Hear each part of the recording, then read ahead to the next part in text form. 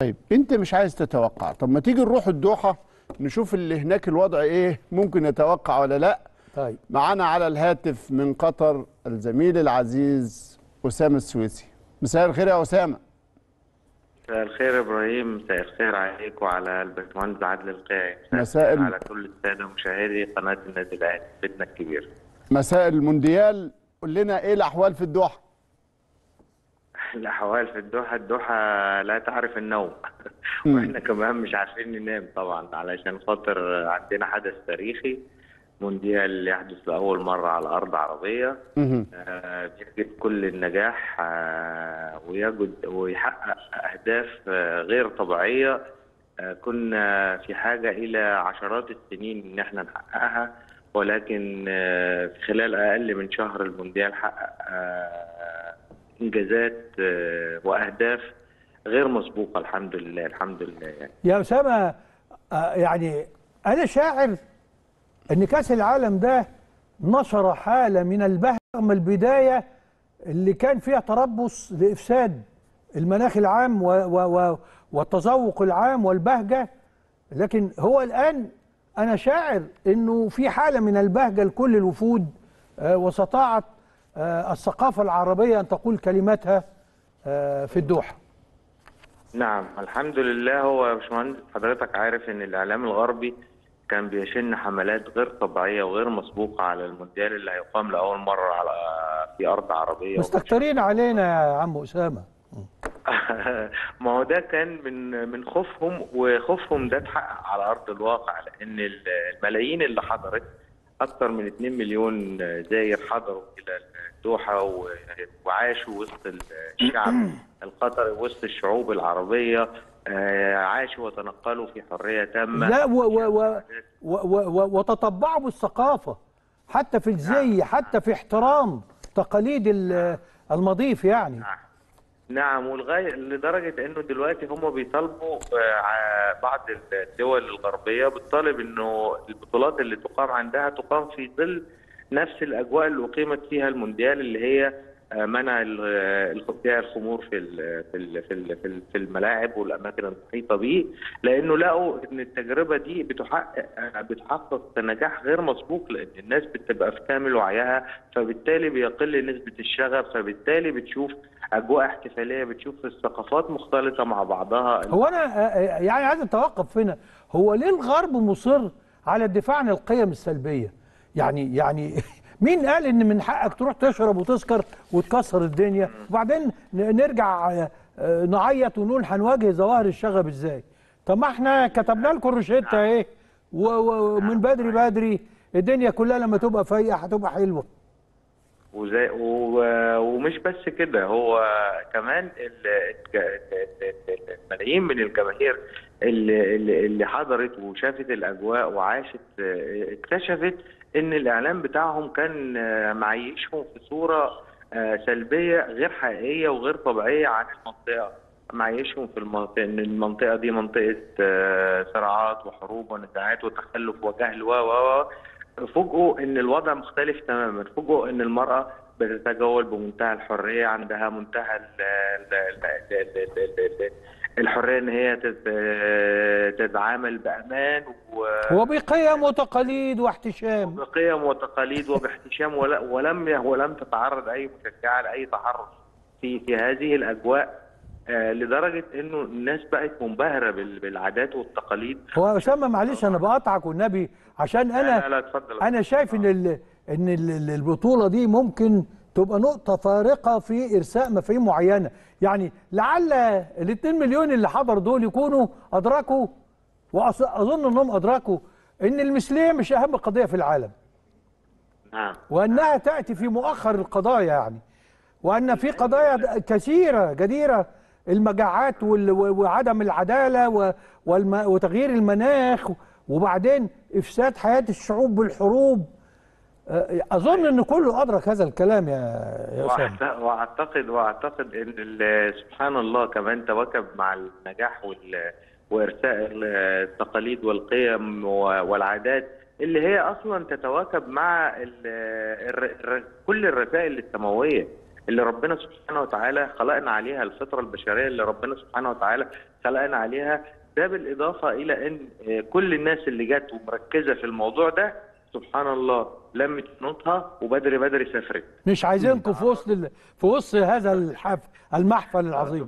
آه آه سبحان الله حتى يعني هم هم دافعوا عن قضايا خ- خاسرة خارج الملعب وخسروا أيضا داخل الملعب. ناقص هولندا بس. طيب أسامة هو حتى, المدرب آه حتى المدرب الهولندي نبره نبرة كلامه اتغيرت آه. آه. 180 درجة لدرجة إنه قال آه، في أحد المؤتمرات الصحفيه انا إحنا حضرنا هنا وشفنا المعاملة بتاعه العمال واكتشفنا إن كل الكلام اللي كان بيصور لينا كلام مختلف تماما عن اللي إحنا شفناه على أرض الواقع يعني تمام. المغرب عامل حالة طبعا يعني حالة عربية وكل الجماهير العربية اللي كانت متوحدة من بداية البطولة خلف كل المنتخبات العربية دلوقتي تركيزها على المغرب المغرب أجواء ال- ال- الدوحه عندك تجاه المغرب عاملة إزاي؟ اولا المغرب هو المنتخب العربي الوحيد اللي استفاد من خاصية إنه لعب في بيته. امم إن دي أول صحيح. مرة تتاح للمنتخبات العربية فرصة إنك تلعب في أرضك وسط جمهور. قدام الجماهير دي. آه. كل المنتخبات العربية حظ- حظيت بالدعم من مباريات المنتخبات العربية فل بنسبة 90 إلى 10% إن لم يكن آه، 100% امم المنتخب المغربي هو المنتخب الوحيد الذي نجح في الاستفادة من هذا العامل. عامل الأرض وعامل الجمهور لعب في بيته والمدرب بتاعه وليد الركراجي نجح إن هو يفرض بصمته وأسلوبه على أداء الفريق في فترة وجيزة جدا. كان المنتخب المغربي كان بصورة باهتة في النسخة الأخيرة من كأس الأمم الأفريقية. ثم ال- القرار الجريء والشجاع بإقالة آه، وحيد خليل لوزيتش المدرب البوسني والتعاقد مع وليد الرجراجي اللي نجح في إظهار القدرات بتاعة لعيبة المغرب وخلاهم آه، يتعاملوا آه، مع الموضوع بشكل فيه روح وفيه قتالية وفي آه، انصهار في بوتقة واحدة وخلى شعار المغرب هو النجم الأول للفريق علشان كده ما كانش مستغرب إنه يفوز على بلجيكا المصنف الثاني عالميا يتعادل مع كرواتيا وصيف النسخة السابقة ثم يفوز على منتخب كندا المصنف أول في الكونكاكاف ثم يتأهل لمواجهة أسبانيا وما أدراك ما أسبانيا ويفرض عليها أسلوبه ويفرض على ويوصلها لأن هو يلعب ضربات ترجيح لدرجة أن المغرب أقوى دفاع اتهزت شباكه مرة واحدة فقط وعن طريق الخطأ عن طريق مدافع بالخطأ في مرماه في مباراة كندا. ولم يخسر حتى الآن الحمد لله. ولم يخسر حتى الآن وإن شاء الله فرصه كبيرة جدا. أتمنى إن لعيبة المغرب تستغل الفرصة الذهبية دي. صحيح هم أول منتخب عربي يذهب إلى دور ربع النهائي وعندهم فرصة ذهبية إن هم يحققوا أبعد من كده كمان. هنتمحك بقى شوية طالما إن إحنا مش عارفين نتواجد لازم نعمل لنا كده تمحيكة. هل فوز مصر على بلجيكا؟ ألهم الفريق المغربي. آه ليه لا؟ طبعا. مؤكد مؤكد إنه إن فوز المنتخب المصري آه كشف أوراق المنتخب البلجيكي وإدى دافع لأنه ما أن ما- ما ما منتخب مصر يحقق الفوز في مباراة دولية رسمية هي الأخيرة لمنتخب بلجيكا قبل ما يروح المونديال. مؤكد انه لعبها بكامل نجومه لعبها آه، بكامل تركيزه. فبالتالي أظهر آه، للجميع إن الم- إنه مش صعب المسألة مش صعبة المسألة سهلة. وكده حضرتك فتحت الجرح يا باشمهندس. آه. اما أنا عايز طيب أقول لك بقى إذا كان آه، آه، آه، فوز مصر على بلجيكا آه، كشف كشف العوار ونقط الضعف في بلجيكا فإن فوز المغرب وصولها إلى دور الثمانية قد كشف العوار ونقط الضعف في الكرة المصرية. اتفضل لأن كنت عايز تقول حاجة. آه للأسف. الجرح بقى إيه؟ وأنا بت... وأنا بتابع وأنا بتابع المونديال بهذه ال- الفرحة الطاغية سواء لنجاح قطر التنظيمي آه آه والصورة اللي غيرتها عن آه العرب وعن الدول الإسلامية بشكل غير طبيعي. لو كنا صرفنا مليارات آه وقعدنا سنوات علشان نغير الصورة دي غيرناها في خلال شهر آه محدد. أما على الصعيد الفني فطبعا المنتخب المغربي ونجاحه في الوصول إلى الدور ربع النهائي وقبله فوز المنتخب التونسي على منتخب فرنسا وقبله فوز المنتخب السعودي على منتخب الأرجنتين بيخلي الواحد عنده في نفس التوقيت آه نوع من الحزن والألم الشديد على ما وصلنا ليه على مستوى الكرة المصرية اللي للأسف الشديد. بس أنا عايز أطمنك على حاجة. مم. إن مصر استوعبت الدرس فهترجع للخلف عشر خطوات بيجهزوا دلوقتي للإطاحة بكلاتنبرج للاستفادة من دروس. يعني إحنا والله العظيم ثلاثة لو حد متسلط علينا.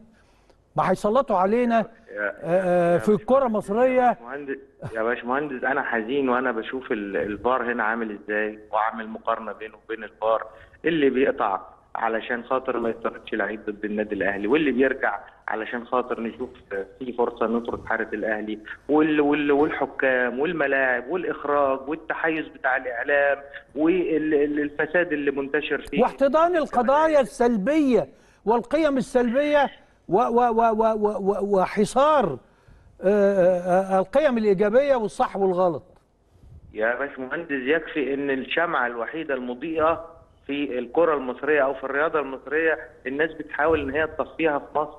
للأسف الشديد لغاية اللحظة اللي بكلم حضرتك فيها اللي خبى جواب الكاف عشان يحرم النادي الأهلي من حقه الشرعي في المنافسه على بطولة آه، بطولة القارة للمرة الثالثة على التوالي ما تحاسبش لغاية دلوقتي. لغاية دلوقتي إحنا مش عارفين. ومش هيتحاسب يا يا أسامة. مفيش مفيش جدية مفيش إرادة حقيقية في تطوير حاجة يعني. مفيش. للأسف الشديد إحنا دخلنا دخلنا تقنية الفار دخلنا تقنية الفار في مصر قبل معظم الدول العربية. ولكن إحنا متأخرين جدا في تنفيذها. متأخرين جدا لأن إحنا استخدمناها استخدام سيء استخدام بشري سيء علشان نوجه البطولات. طيب عود عودة للمونديال يا أسامة. المغرب عنده غيابات حقيقية كتيرة لأنه في الكلام في الإعلام في ثلاث لعيبة أساسيين الإصابة قد تمنعهم من مباراة البرتغال. ده صحيح عندك؟ آه، هو في كلام آه، كتير وكلام خارج من وكالات الأنباء كلها. مش مش مش مش مش مجرد. شائعات ولا كلام على ال social media. ولكن آه، الموقف سيحسم إن شاء الله بكرة لأن عندهم فرصة. أتمنى إن هم الثلاثه اللعيبة ثلاثة مؤثرين سواء راوي سواء ساري آه، سواء الزلزولي الثلاثه لعيبة مؤثرين جدا. آه، ولكن ال- ال- اللي بيراهن عليه آه، المنتخب المغربي هو الجماعية. والروح اللي خلقها وليد الرجراجي في الفريق.